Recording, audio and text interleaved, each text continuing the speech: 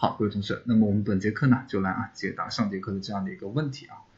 呃，这样啊，我们先不用 B 包啊，来写一下看看能不能实现啊。好，我们再新建一个模块，C 十六点 py。好，那么啊，假设说啊，这个旅行者呢，他现在的坐标呢是零啊，原点。好，那么我现在呢编写一个函数啊，这个函数呢很简单，我就叫做 go，然后呢它每一次呢接收一个 step 啊，step 呢表示步数啊。好，然后呢函数呢我们先占位啊，pass。好，然后呢，我们最后啊，需要打印啊这样的一个 Go 执行的结果。好，假如说呢，我第一次啊，先让这个旅行者呢走两步啊，好，然后呢，我们先把调用写出来啊。好，第二次呢，你呢给我走了三步，第三次呢，你给我走了六步。好，好，然后呢，我们来说一下啊，这三个 print 它应该有的打印的结果是什么啊？好，开始呢，它在原点零，然后呢，它走了两步啊，零加二等于二，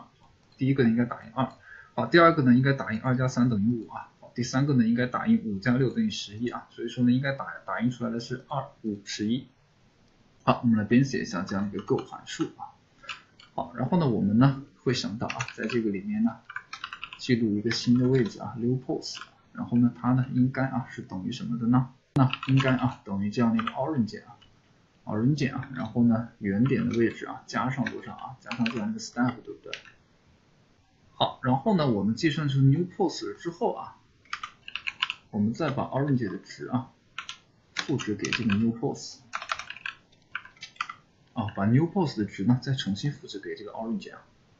好，最后呢，我们啊把 orange 呢给返回回来。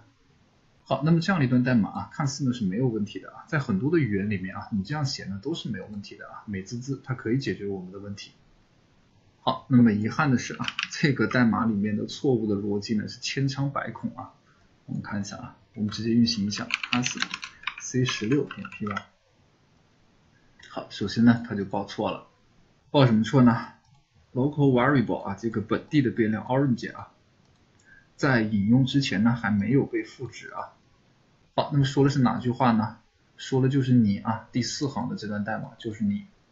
你这里啊，orange 呢，在函数的 Go 函数的内部啊，还没有被定义呢。你从哪蹦出来的？你居然就可以啊，被直接呢和 step 相加吗？这显然是不可以的啊。好，那么我们很多同学呢，就会啊想起我之前所讲的这样的一个问题啊，如果函数的内部啊，它使用了某一个变量，而这个变量呢？这个变量呢没有啊定义的话，它会往它的上一级去寻找啊，所以说这个地方按道理来讲呢是不应该报错的啊，它应该是零啊。第一次调用 go 二的时候呢，它应该是零加上 step step 的值二啊，它应该 new pos 应该是二对不对？但是呢它这里呢却报错了。好，那么我们呢看一下啊，到底为什么啊？我们把后面这样一句 orange 这个 orange 然后等于 new pos 呢把它给注释掉啊，然后我们再来看一下，它还会不会报错啊？并不会报错了。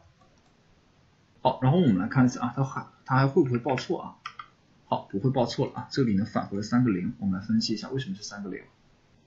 因为呢，你这里呢，在这个函数的内部啊，使用了 orange 啊，而 orange 呢，它并没有啊这样的一个在函数内部没有定义啊，那么它将沿着它的作用域链啊，去去模块里面去找这个全局变量 orange，所以说呢，这个地方 orange 的取值呢将是零啊。好，那么零加二赋给了 new pos 啊，这个呢都没问题，对不对？好，最终呢它还是啊 return 了 orange 啊，因为我们没有修改 orange 的值，对不对？所以说呢这个地方 orange 呢，我们这个函数返回结果呢永远是零啊，所以说呢这三次打印的结果都是零啊。返回结果是什么并不重要啊，重要的是什么？重要的是啊，我们在这里呢把这句话啊，把这个 orange 的赋值啊，把它给注释了之后啊，这个 orange 啊前面的这个 orange 呢就可以啊。去啊，去作用链外面去寻找这个外面的 orange 了，不会报错了啊。好，那么为什么啊，这个 orange 啊，是不是去外部啊，去呃寻找这样的一个作用作用域链上面的一个定义的，是受后面的这样一句话的影响呢？这个呢问题呢非常值得大家去思考一下啊。好，那么我们来分析一下啊，如果你在这个函数的内部啊，你是你出现了这样的一个 orange 啊等于某一个值的话，那么呢？Python 呢会认为啊，出现在等号左边的啊这样的一个变量的值呢，它呢就是啊是出现在等号左边的这个变量呢，它就是一个局部变量啊。也就是说呢，Python 认为啊，你既然有了局部变量的话呢，Orange 呢是存在的，它不会再去你外边去寻找这样的一个呃作用域链作用域链外部的啊这样的一个 Orange 的定义了。好，但是呢，当它执行的时候啊，我们刚刚说的是定义的时候，大家一定要区分定义的时候和和执行时候的一个问题啊。好，那么当啊这个代码呢运运行到这个 print go 二的时候啊，好，那么它就开始啊要执行这样的一个 go 函数内部的代码了。然后呢，代码走到这里啊，new pos 等于 orange，哎，完了，orange 怎么办？现在 orange 没有定义啊，因为 orange 因为 orange 的这个。orange 的这个定呃，它的复制操作呢是在这个 new pos 的复制操作之后啊，所以说呢它就报了这样的一个错误啊。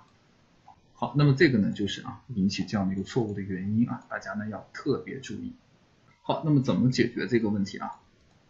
解决这个问题呢，我们需要从这这样的一个思路上面来思考啊，我们来思考一下 orange 在这里的意义啊，我们应该怎么来正确的使用这个 orange 呢？其实呢，我们在这个函数的内部啊，使用这个 orange 呢，我们是希望啊，把它当做一个全局变量来使用的。也就是说呢，我们希望啊，这个全局变量呢是可以啊，记住啊，记住我们上一次啊走的这样的一个呃，通过上一次的走路了之后，它的一个最新的一个坐标，对不对？如果说 orange 啊不能够啊记住上一次啊它走它做这个行走了之后的一个最新的坐标的话啊，那么呢，打印出来的呢肯定不是我们想要的结果啊。好，我们可以看一下啊，什么意思呢？我们可以把这个 orange 等于 new pos 啊这句话给注释掉啊。那么在此时呢，orange 啊，由于呢没有了，由于呢在 Go 函数的内部呢没有了这个 orange 的定义啊，所以说 orange 呢将去取这样的一个全局变量 orange。好，然后我们看一下打印的结果啊，打印的结果呢并不是我们期望的啊，它将打印出二三六啊，我们看一下。好，是不是我没有说错吧？二三六，为什么？因为呢，你这里的这个 orange 啊，它的这样的一个值呢，永远呢是零啊，它并没有啊通过这样的一个调用 Go 函数啊，而而变成一个新的值啊，这就导致你每一次都是啊从原点零开始在行走。好，那么我们怎么解决这个问题？解决问题的方法呢，其实呢之前呢我们都讲到过啊，就看大家呢有没有想到了啊。如果啊，你想让这个 orange 啊不是这样的一个局部变量的话啊，有没有办法啊？有办法啊，讲到过了啊，global 关键字啊，在这里呢把 orange 呢给声明一下啊，让它是一个全局变量。好，这样做了更改了之后呢，我们再看一下打印的结果，看见没有？二五十一啊，和我们之前呢所预测的正确结果是一样的啊。它呢会对 orange 的这个原点呢做一个累加计算。好，所以说呢，像这样的一个 global 关键字呢，我们之前呢是给大家讲讲过了啊。大家呢其实呢一直认为啊，我前面讲的这个内容非常简单啊，确实是非常简单。但是当你遇到问题的时候，你能不能想到啊，使用我们的这样一些非常简单的知识啊，来帮助你解决问题呢？其实呢，我一直认为啊，知识呢不存在简单还是复杂啊，它只存在于能不能帮你解决问题。很多同学总是说啊，讲的太简单，讲的太简单啊，关键的是你要把它给用起来。好，global 关键字的这个意义呢，我就不再做具体的解释了啊。如果说忘了忘了的同学呢，再翻，再啊回到我们之前的课程里面呢，再去看一下啊 global 它的意义。好，那么我们这节课呢，就用了这样的一个非闭包的方法啊，解决了我们说的这样的一个啊旅旅行者行走的问题啊。